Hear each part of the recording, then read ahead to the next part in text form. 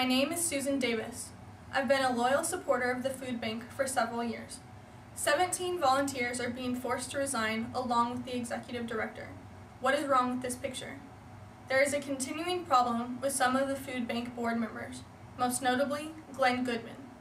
Why the board would destroy and tear down the confidence and morale of the food bank, which has been very successfully run for years, is beyond me.